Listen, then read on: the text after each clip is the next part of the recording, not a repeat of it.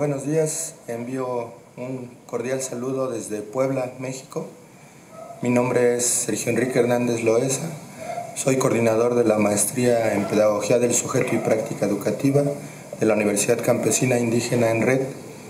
Y en esta ocasión eh, les saludo como parte del equipo de facilitadores que estamos participando en los talleres de autocapacitación en análisis, diseño y promoción de actividades para la erradicación del racismo en la educación superior.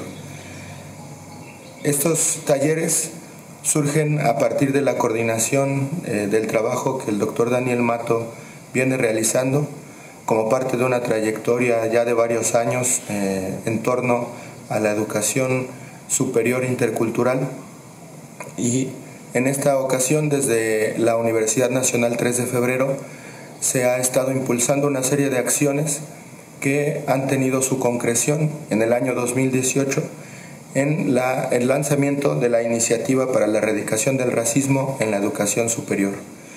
Esta iniciativa tiene la intención de eh, conjuntar esfuerzos para, en un primer momento, hacer visibles todas las formas de racismo que ocurren en la educación superior en América Latina, especialmente aquellas eh, que afectan a pueblos indígenas y pueblos afrodescendientes, pero también, además de hacer visibles estas acciones, llevar a cabo eh, formas concretas que apoyen a su erradicación.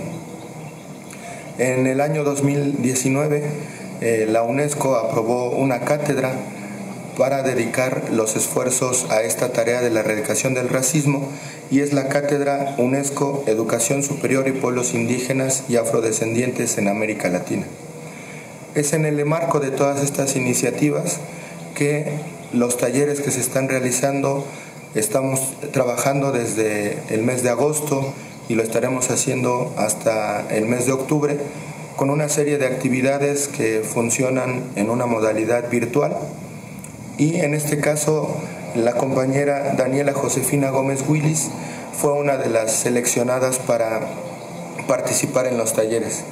Eh, ella como representante de la Universidad de San Carlos de Guatemala eh, ha venido realizando una serie de participaciones, de reflexiones, que se han concretado en este evento, en estas jornadas que ahora ustedes están realizando.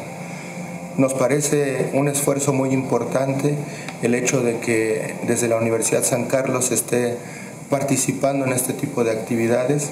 Celebramos que haya la participación de todos ustedes, el apoyo institucional y especialmente esperamos que todos estos esfuerzos, que las acciones que están realizando lleguen a culminar en esta erradicación del racismo. Sabemos que son acciones que requieren de un trabajo a largo plazo, por lo cual les invitamos a continuar con estas iniciativas, que este sea un inicio que nos lleve a construir una sociedad distinta eh, basada en el reconocimiento de la diversidad étnico-cultural.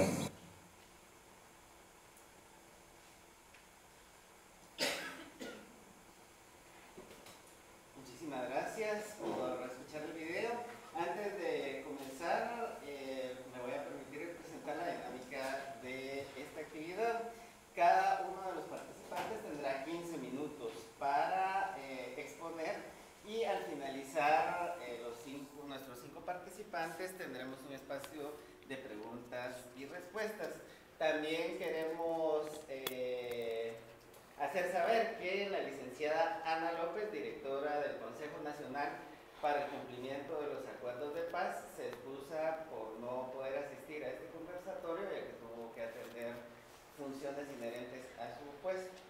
Eh, bueno, ahora vamos a iniciar con nuestra primera expositora. Eh, les presentamos a Lina Barrios del Instituto de Estudios Interétnicos y antes de darle la palabra, me voy a permitir leer su hoja de vida.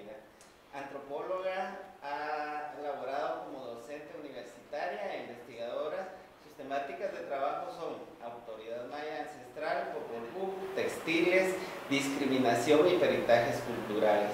Ha tenido la oportunidad de realizar 17 publicaciones, ganadora de dos premios iberoamericanos en la investigación. Ellos, estos son en el 2012 Eh, Cortes de Cádiz, eh, el premio Cortes de Cádiz a la investigación por la igualdad de género. Este premio fue otorgado en Cádiz, España. En 1998, el premio Villa de Madrid a la investigación municipal y este premio fue otorgado en Madrid, España.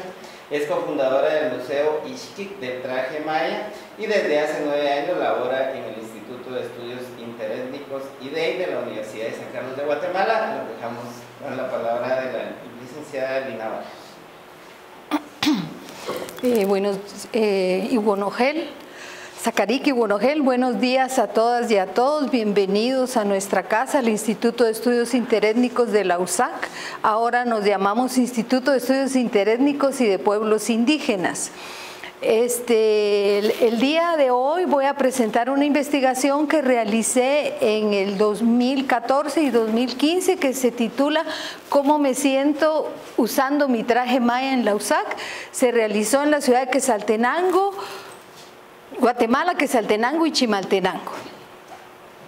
Eh, la Convención Internacional de Eliminación de todas las formas de discriminación de, Naciones Unidas se redactó en el 65. Dice, se, distingue toda distinción, exclusión, restricción o preferencia basada en motivos de raza, color, linaje u origen nacional o étnico que tenga por objeto o resultado anular o menoscabar el reconocimiento, goce o ejercicio en condiciones de igualdad de los derechos humanos, libertades fundamentales y eh, en las esferas política, económica, social, cultural o en cualquier otra esfera de la vida pública. Guatemala como país ratificó esta convención en 1983.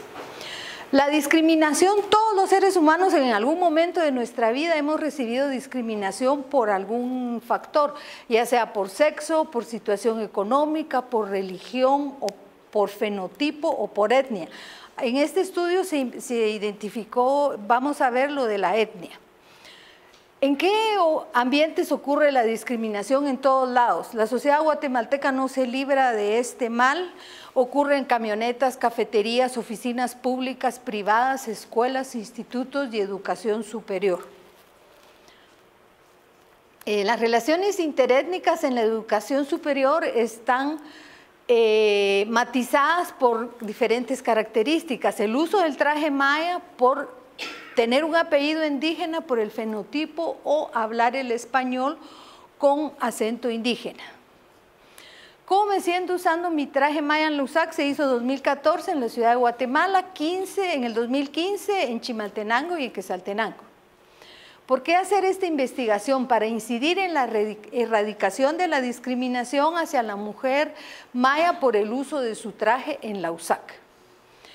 Eh, esta investigación, en esta investigación participaron 207 estudiantes. Eh, la mayoría fueron mujeres, 206, y un joven de Todos Santos que estudiaba arquitectura en el CUNOC, en la sede de Quesaltenango. Los estudiantes, hubieron diversidad de carreras, 83% humanísticas y 17% de las ciencias exactas y de la salud. Participaron de todos los niveles académicos, excepto doctorado, y en todos los planes diarios sabatino y dominical.